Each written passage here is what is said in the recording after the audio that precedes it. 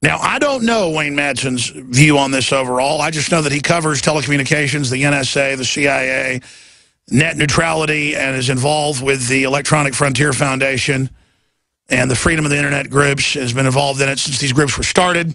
He's testified to Congress, the EU, uh, you name it. Members of uh, Congress have also had him as expert witness. So he is uniquely positioned as probably the biggest NSA whistleblower most people never heard about. You hear about Snowden all day, but but Madsen was blowing the whistle back when they didn't arrest you for exposing criminal activity 20 years ago when he left the National Security Agency. Before that, he was in uh, electronic anti-submarine uh, warfare operations in highly classified areas of the Navy. And, of course, he's a frequent guest here on the broadcast, and I appreciate him coming on on short notice. I just thought, hey, we ought to get Wayne Madsen's take on this. All I knew months ago was they wouldn't show what the proposal was, and I said, I don't want the FCC over the Internet use antitrust laws on these big corporations that are already there that they can't stop people's information going down the Internet. If someone violates a law, those laws are on the books. Well, that's basically what Commissioner Pai and others are saying. We're going to find out Wayne Madsen's view on this and then take calls on this subject uh, and others. Uh, Wayne Madsen, what is your take with WayneMadsenReport.com? What is your take on what's happening right now? Well, I wish we could freeze the current status quo without any sort of. Uh, my, my, fear is that uh, there's been a lot of lobbyists involved with crafting uh, these uh, FCC regulations. I think there's arguments on both sides of this. Here, here, here, here, and I, I, I was involved in this peripherally when I was with the Electronic Privacy Information Center years ago. That the issue of net neutrality came up. Uh, and isn't that the group that turned into EFF?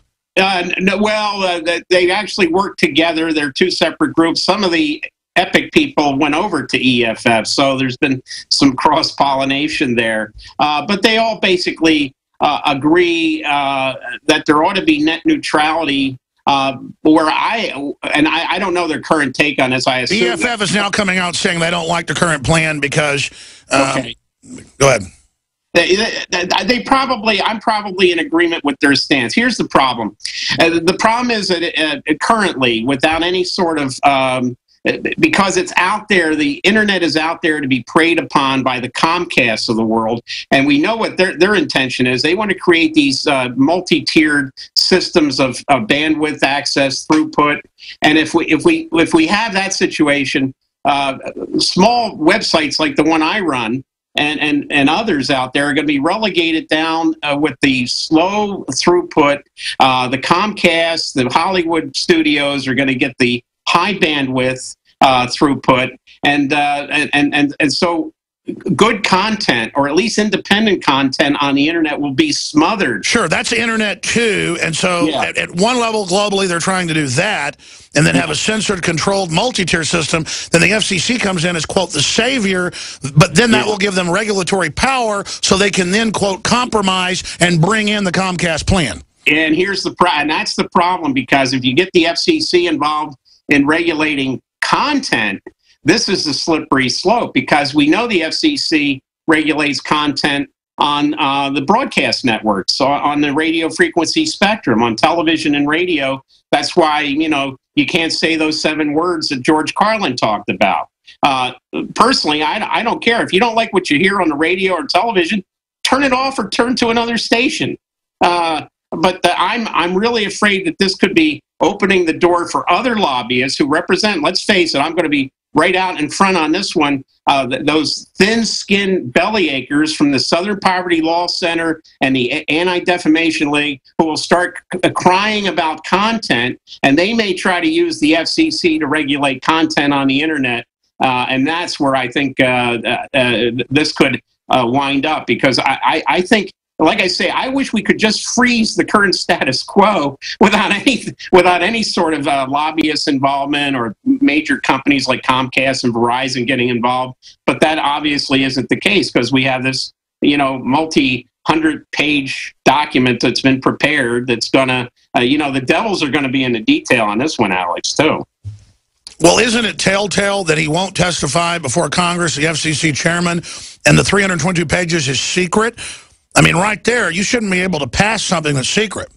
Yeah, and the guy, the, the guy who's the FCC chairman, of course, Obama picked him. Uh, he, uh, you know, he's a uh, he's a former uh, communications industry uh, lobbyist. I mean, he comes right out of the Comcast world, so I wouldn't trust anything on his uh, on his his silver platter, whatever he's offering up.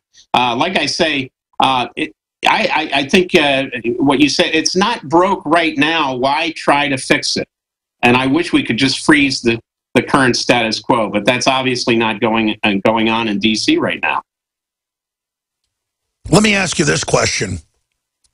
More and more on every front, the globalist interests are accelerating their program to a reckless level. A, do you agree with that statement? And B, why do you think every globalist project is being put into overdrive right now? Oh, well, look, you know, the, the globalists are, are, afraid right now. Look what's happening in Europe with Greece. I mean, the Greeks unfortunately uh, buckled. Uh, they had this new government. They, they said, look, we're not going to play around with these bankers and this austerity, but it looks like they, you know, and in the 11th hour, they cut this deal. But it's, it, it, you know, the, these are like the, uh, the, the, little Dutch boy trying to keep his finger plugged in the dam because there's leaks springing up all over the world, and and they're getting frankly very very nervous about what's going on. Elaborate on the Greece German situation. Well, what we had in a, a victory of Syriza, that's the far left party in Greece, it was an anti austerity vote. You know, Greece has been told to sell off all their public uh, sector assets, everything from the ports, which they were forced to sell to the Chinese, uh, uh, to airports, to ferry systems, uh, you name it, hospitals. Everything was on the uh, the chopping block. Uh, they, they, they wanted to do to Greece what's going on in Ukraine right now, selling public assets for like pennies to the dollar and uh, the only people that were making out were these, uh, you know, globalist bankers in Frankfurt, the European Central Bank, the EU, and the IMF, what they call in Greece the Troika. The IMF, the European uh, Union and the European Central Bank. And, and, and, and there have been people on pensions in Greece have been thrown off their pensions. They're not, they don't have money to get their prescriptions. Uh, I mean, it's been devastating. So they, the Greek people elected an anti-austerity government. But what did they do at the 11th hour? Instead of just saying, to heck with the EU, we're pulling out, we're going to reestablish the drachma, our old, cur- our, our old currency, as our monetary unit. They cut this terrible deal which means that Greece will continue with this austerity program. What, what, who, who's next? Well, uh, in Spain, Italy, Ireland, Belgium, France, all facing this too. Uh, either in France, you've got the rise of the National Front, the, the, the right wing party, which is supposedly against uh, these EU uh, austerity programs. In Spain, is Podemos, which is, uh, again, like the Greek left leftist party. But you, you, in other words, you, in, in, various countries around uh, around Europe and in fact around the world, you're seeing uh, the population uh, going to either the left or to the right because they're sick and tired of this uh, status quo uh, that's been engineered by these globalists. What they're going to is nationalist anti-austerity parties, and when you analyze the Greek debt and others, as you've done,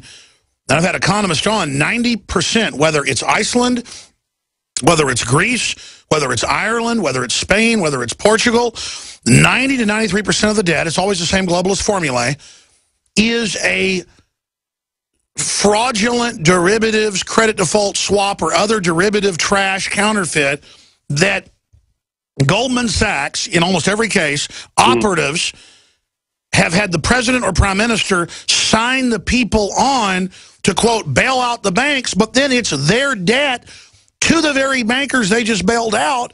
And so their pension funds get raided or they've got to bail in and give money to the banks. I mean, this screw job is so epic it makes my head spin. When we come back, Wayne, I want to talk about that with you. I want to go to phone calls. I want to ask you the wild card question. What big stories are you working on right now? And so much more. TheWayneMadsenReport.com. He's almost right now. And we're going to uh, tweet that out at Real Alex Jones at Infowars.com. Stay with us, ladies and gentlemen. I'm Alex Jones. Then create a synthesis that is the end game that you wanted to begin with. The Hegelian dialectic of problem, reaction, solution is a Straussian economic system that is deployed as almost a fix-all for the global social engineers, in my view. It's very transparent. There's a plan to create a two-tier, censored, controlled, hyper-fast internet. It's already in place in South Korea and other areas. Have people opt in, waive their rights, and be surveilled, and then basically have a subweb that is falling apart, choked with uh, different tolls, and regulated as well. And so they have the Comcast and others come in and try to push this hijacking, uh, creating dams in the middle of the internet. Then Congress comes in to, quote, save us, but they don't. They let the FCC, an agency, come in and just say, don't worry, we're going to declare regulatory power over this without Congress even passing a law. So it's a constitutional crisis in that it's the FCC declaring they're just going to do this. And then we talk about FCC appeals when they don't have this regulatory power. And we've got the former head lawyer joining us Monday for the FCC, Bruce Fein. He's the guy that got rid of net neutrality in 1987. So we can defeat this. But, Wayne, what does it signify in the world right now? I know I brought up another subject as we went to break, but I want to go back into this for a moment in this short segment. What does it signify, though, that they're trying this? And if the globalists are in such crisis, looking into your crystal ball, talking to other experts, where do you see the world going? What are we about to see the next few years? Well, I mean, if you were to if you were to sneak in uh, to say the Bilderberg, uh, uh, you know, you actually are inside listening to these people, these elitists, or the Davos World Economic Forum, or any number of these. Uh, I, I, dare say that's been discussed at the Bohemian Grove uh, between you know naked romps in the forest. Uh, they're probably saying, "What are we going to do about this internet?" Because you know it, it's this it, it, fairly independent uh, means of communications where um, the nation state, as a matter of fact, uh, just last week, uh, uh, three fossils: Henry Kissinger, Zbigniew Brzezinski, and Brent Scowcroft were testifying before John McCain, and John McCain is very much in, in, you know, in bed with these Comcasts of the world on on uh, the internet. And uh, both, uh, all three of these ancient fossils said they're concerned about the Westphalian system being uh, threatened by social media. And what are they talking about? Talking about the internet. And, and what they're talking about with the Treaty of Westphalia. This is this was concluded in 1648. This gives you some idea of, of the uh, of the, yeah, these people are living in the past. They, they want to return to feudalism. Uh, they want to return to chattel systems. Um, and uh, they're concerned. So, so when they're talking about the Treaty of Westphalia from 1648, uh, they they want their their their their feeling is that the nation state is being threatened.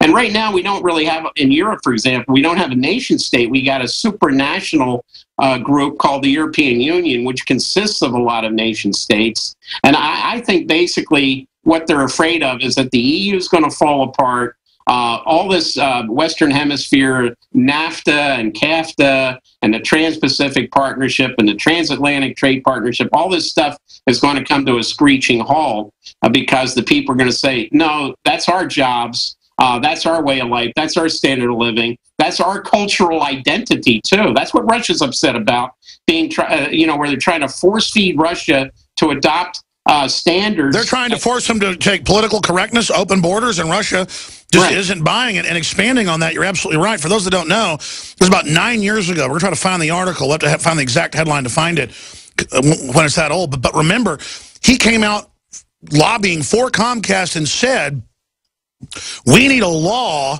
with no proof, basically, was the law they wanted, that Comcast and the recording industries were proposing to, quote, blow up pirates' computers that if you if they claim you've downloaded something illegally, then they have they send a virus that fries your computer. Remember that? He said, quote, blow yeah. up your computer. Yeah. I mean, these people are insane. Uh, uh, you know, but the, the mere fact that you had uh, uh, Scowcroft, Kissinger, and Brzezinski testifying before some shows they're scared. Yeah, I mean, you know, uh, they, they have to haul these people out of the crypt to, to complain about how the, the Westphalian treaty system is being threatened by social media. You know, they're talking about you, they're talking about me, they're talking about everyone else out there uh, who's got an independent voice. Well, Hillary said it four years ago. They're losing the info war. We'll be right back with Wayne Madsen, your phone calls, and a lot more. And wild cards. What does he think's most important? I'll ask him. Basically, Patriot Act. Jesse wants to talk about Jesse Ventura and immigration. Cindy wants to talk about ISIS in America. Yeah, they've just arrested supposedly three people. Fox News is reporting who wanted to join ISIS. We're going to discuss all of that. Also, they're set to move on codifying Obama's executive action uh, on merging us into a North American Union. That's what they call the open borders. That's just some of what's coming up. Uh, meanwhile, college indoctrination on steroids, capitalism must be overthrown for the sake of humanity.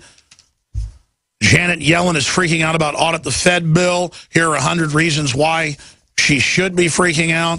Another article, ex-FCC chief shocked by Fed's attempt to regulate internet. That's just some of what's coming up today that we haven't really gotten into in detail yet. Before we go back to Wayne Madsen of WayneMadsenReport.com, also want to get him to talk about his latest book. Folks should definitely go get it and read it and support independent journalism. But before we go any further uh, and talk about tales from the CIA, this month of February, we've had some of the biggest specials ever. A free bottle of Ancient Defense Herbal Immunity Booster. Normally a $14.95 value. Free when you get it with two bottles of Survival Shield Nascent Iodine X2. That special ends in three days. InfoWarsLife.com or InfoWarsStore.com or call toll free 888-253-3139. Super high quality, life-changing products, certainly in my life. You've heard the rave reviews. I want to thank you all for your support. That's how we fund this operation. That special is going to end. Uh, we've got 20% off super male and super female vitality. Just try a bottle of it. If it doesn't blow you away, You've supported the broadcast, but quite frankly, I know what's going to happen. We haven't really seen anybody yet who hadn't had rave reviews of the stamina, the energy, the, to quote Beavis and Butthead, the boing. I mean, it is certainly, certainly uh, the real deal because of all the estrogen mimickers and fluoride suppressing our normal endocrine system. This will blow you away. And I, by the way, I have a new a big university study out of England. Research exposes how our water is making us depressed and sick. It's a great headline, but it's not hardcore enough by Mike Barrett at Infowars.com, who did a great job writing this article. It should say, university study, fluoride destroying the thyroid. Because you read the study that, that they're linked to here, 30% increase in the cities in England in hyperthyroidism and also underactive thyroid, so both just studying that. So you can go read it for yourself. Just another study to the thousands. The Harvard study looked at 25 studies proving a massive IQ reduction. The list goes on and on. What are you doing paying for a toxic waste to be dumped in the water? There's London Telegraph. Fluoride drinking water may trigger depression and weight gain, warned scientists. What? That was also in the, the London Telegraph? You mean they actually reported on it? When did they report on it? Monday. Wow. The London Telegraph beats InfoWars by two days. Wow. I love being beaten by mainstream media. Yeah. Make me passe. Make me old news. Anyways, you can get a super male, super female, 20% off, 15% uh, off all the water filtration systems that are already the lowest price, highest quality. Infowarsstore.com. Have any questions or comments? There's literally hundreds of other great products at Infowarsstore.com. You can call toll free 888-253-3139 and talk to our polite, informed, great Infowars crew that's answering the phones uh, in the building next to me. And then after 6 o'clock at night, we have an answering service, but they're still great folks. But you are talking to an info warrior when you call before 6 o'clock Central. So 888-253-3139er. Uh, Wayne Madsen, uh, just now I thought of something. Do you feel vindicated being one of the first 9-11 truthers demonized, vilified, drugged through the mud, pilloried, attacked for saying that Saudi Arabia clearly had a major hand in it and that there was a stand down in the book you wrote, in the interviews you've done for international, national media and this show. You were one of the first prominent 9-11 truthers covering real facts. They sent in the well poisoners with ridiculous conspiracy theories who all attacked us to try to discredit the message. But now the 28 pages, Senator Graham, head of the commission, says Saudi Arabia quarterbacked it, bare minimum, and that our government, bare minimum, stood down. We are vindicated. What do you make of that? And then are you worried about a new false flag? Yeah, I'm, I'm, I'm worried about a new false flag, but um, yeah, I, I was actually threatened with lawsuits from uh, people in, in Saudi Arabia, uh, a Saudi sheikh, for example, because I, I had written about uh, the involvement of some of these Saudi banks, Saudi bankers, members of the uh, Saud family in, in 9-11. The current king of Saudi Arabia, I tagged him as facilitating the transfer of members of Al-Qaeda through Riyadh when he was governor of the Riyadh province to uh, Pakistan and Afghanistan, uh, paying their plane fare to, uh, for their plane, uh, giving them their tickets, they're uh, paying for their hotel rooms, giving them cash. He's the current king, King Salman, not to be confused with what you catch out in. Uh, the Puget Sound in the Pacific Northwest, but I, I, believe me, those salmons, those salmon, those King salmon smell a lot better than King salmon of Saudi Arabia. Uh, but uh, yeah, look, I, I mean, I, I, I, had very good sources back then that were trying to tell me this was going on, uh, and uh, I just. Uh, I, I, feel good that they're vindicated uh, more so than myself. You're talking about Springmann and others ahead of the oh, U.S. Embassy. One, yeah, Springmann was one of many there, but there were so many back in those. Colonel Butler. Yeah, yeah. I mean, they're just. I, I think back on some of them. Unfortunately, some of them are no longer with us. Some have you know, kind of uh, gotten out of the mainstream. They got beat up so bad they decided to get out of the. And these are people there that watched it all happen. I mean, these were eyewitnesses.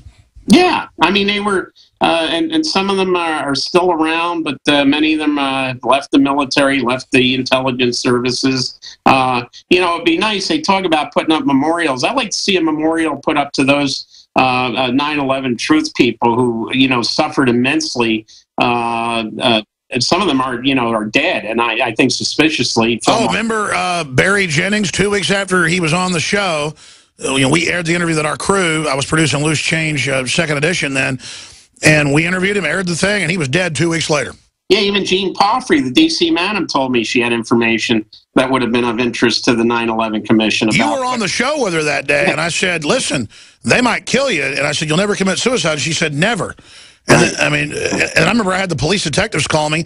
I had uh, her condo manager call me and say, no, no, she was leaving. They were after her. He sent me her handwriting. Looked nothing like her suicide note. Right. And there was uh, FBI agent John O'Neill that was on the trail of the Saudis early on. You knew Palfrey, by the way, quite well. Let, let, let's let, let's remember the D.C. madam here. Yeah, I mean, there, there, there, it's a long, long list uh, but look, there's still reluctance to release those 28 pages, and uh, I pretty much been told what's in them. Uh, it's no no surprise to me where where these roads lead, and uh, you know. Uh, it'd be nice to see the pages come out, but I think it's going to be anticlimactic when uh, when they do uh, when they do, are released because we're going to say, yeah, we already knew that stuff. But we're not going to get apologized to by CNN, Fox News, Glenn Beck. I mean, I mean, really, Glenn. Yeah. Glenn, come on, do I get an apology?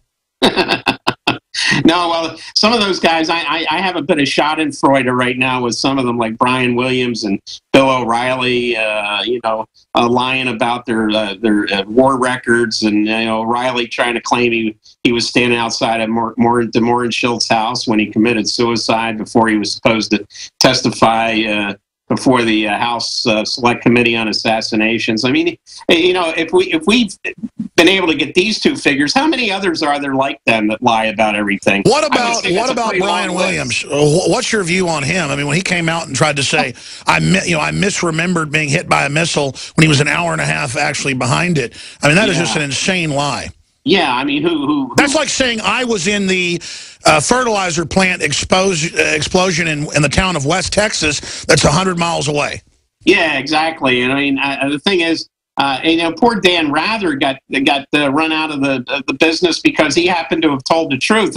Look, you know, of course, some of the evidence uh, was problematic. It, it was he had about twenty pieces, and we know Karl Rove spiked one Hell piece yeah. of disinfo. Yeah, so there's the there's the corporate media for you. You know, they they they, they promote the uh, the ne'er do wells, the people who make up stories, uh, and, and, those who try to report the news are you know shown the exit uh, you know the exit door. Um, yeah, I, I, anyone who look, I, I, I, am going to predict right now that in, I think in two years there will no longer be the half hour broadcast uh, e evening news uh, shows. I think they're they're they're just ridiculous. Uh, Do you think Brian Williams will be seen as the bellwether mark point in which the dying dinosaur media finally collapsed into a rotten heap? Yeah, I think I think NBC will probably be the first to get rid of its uh, nightly news, followed probably by um, ABC. Well, CNN's already segueing out to cooking shows and travel shows. Oh yeah, I mean yeah, that, that and, and and MSNBC does the lockup shows on the weekends, you know, and even the Weather Channel, we get you know Coast Guard guys in Alaska. What is this crap? See that getting back to the internet and and and, and net neutrality. That's what I'm. I, I I would hope that the internet doesn't become that kind of garbage. But I think there are people with com, you know, the, the Hollywood crowd and the music industry would like to turn the internet into a reservoir of garbage like uh, we see on cable TV today. But we can see the metric of what they call conspiracy news. That means anything that doesn't fit with the official narrative. It's what's growing. Uh, yeah. I mean, I don't think this is something they can get rid of. I don't think that if they were losing the info war four years ago in Hillary's words to Congress when she testified, I think now we're really hurting them bad. Well, I try to regulate the internet. I keep my backup. I have my old Woodstock manual typewriter. I'll just start uh, uh, doing my stories on, on that and send it out by snail mail. You know? Well, we know the Soviet Union got crippled by people with fax machines handing out printouts just saying the government lied about this, the government lied about that. That's why everybody should always have an arm of their media operation that's low-tech. Absolutely. Oh, yeah. I mean, if they ever shut me off or anything, I'll launch an initiative people door to door to, to put handbills up everywhere so fast they can't stop us. Yeah, I want to. Uh, I'm, I'm, I'm actually thinking about going to some uh, some garage sales and, and, and uh, antique stores to see if I can get those old mimeograph machines I used to have when I was back in grade school and junior high. Uh, By the way, I'm sure you saw that Germany and Russia are actually buying typewriters for their super secret communications, but the big secret is France already uses underground pneumatic tube for anything considered secret. Exactly, exactly. I, I wouldn't be surprised to see uh, uh, a lot of countries going back to well, we used to use those in the in the military, even in the intelligence community, called they called bunny tubes, where you put your messages in these pneumatic tubes and send them from one uh, building to another, one room to another. Yeah, my dad, strangely enough, when he was in France, uh, wanted to see, get a tour of the SURS, but it's not the actual SURS, it's the old, you know, 500-year-old ones, and because it was a big tour, and he went down in them, and they were like, and I was like, what's these tubes? They go, that's for secret communications. He just said they were just, just scores of them. This was like five years ago. Yeah. They're, they're very effective as long as some clown, as we've had on many, had on many occasions, uh, as long as some clown didn't put a banana or an apple in this uh, thing, because you wind up with banana mush or applesauce on the other end. Oh, so some of people, even in the agencies themselves, would do that? Oh, sure. Have you heard about this epidemic in federal agencies of people crapping on the floor? Uh, the phantom crappers. Uh, well, we well, what if they did that in the pneumatic tube? Yeah, we had. Yeah, well, I, yeah, we we had a lot of funny things show up in the pneumatic tubes. Uh, yeah, well, there, there were stories. I, I, mean, I remember that back in the barracks in the in the in the in the Navy, there were the, those phantom people that did such things. But uh, I mean, why why do that? You you want to if you want to be crapped on, just turn on the CNN and, and, and, and get the latest uh, press conference from the White House. Or turn into Mrs. Mrs. Maddow or Mr. Maddow. He'll, he'll certainly get crap on oh, you. I know. It's, it's ridiculous. All right, I'm sorry for the potty humor, folks. Got to have some gallows humor. Hey, let's take a few phone calls, Wayne. Sure. All right, Wayne Madsen's our guest. Next hour, I'll get into the secret. Have you heard, it's even on mainstream news, they found secret black sites that the police have for interrogating people in Chicago? Yeah, and I'm, I'm really happy that Rahm Emanuel was kept under 50%. He's forced into a runoff, and I would hope that anybody who's a voter in Chicago would vote for uh, uh Jesus uh, Chuy uh, Garcia. I believe that's his name. I may have the last name wrong. I hope I don't. But uh, uh, he came out of basically nowhere and and, uh, and and kept Emanuel under fifty percent. So they're going to go into a runoff, and I would hope that the um, that Chuy becomes the next mayor of Chicago and gets rid of that nonsense. Well, it's a good Star Wars tie-in. And now, is this mayor seven and a half feet tall and hairy? I, I, mean, uh, Emanuel is just uh, he's just sold the city of Chicago to the, you know the the highest. Bidder. He's a total gangster. I mean, for the folks who don't know, this was even in mainstream news that he would flip out in meetings and and start under Clinton and start stabbing the, the, the table with knives, foaming at the mouth, and he would tell Obama to shut up in front of congressional, uh, you know, closed door meetings with Obama. I mean, he is crazy. Yeah, and Obama showed up in Chicago to campaign for him, but apparently, uh, as I wrote today uh, on my website, uh, uh, where Obama thought he um, uh, had coattails out there, it turns out he, he didn't even have a ferry loop to help to help old Emanuel. Now, now, did Emanuel and Obama drop by the bathhouses like they normally do? I don't know. They might have discussed old times up there at uh, in, in, in what they call Boys Town. Maybe they can hang out with Sandusky. Let's talk to. We're not joking, folks. Or, or Aaron Schock, the other guy that I reported on. He, he you know, he's the guy that uh, uh, redecorated his house office, uh, House of Representatives office, as, uh, as, as some as some sort of with all this old English uh, wallpaper and uh, wall hangings and things. Uh, uh, uh Downton in the style of Downton Abbey. Um, yeah, there, there, were rumors that he was also frequenting um, th those same places. Oh, let's skip the network breaks. We got more time. Kevin in Maryland. Kevin, you're on the air. Welcome. Hey, good to talk to you, Alex. Wayne, props to all your work, man.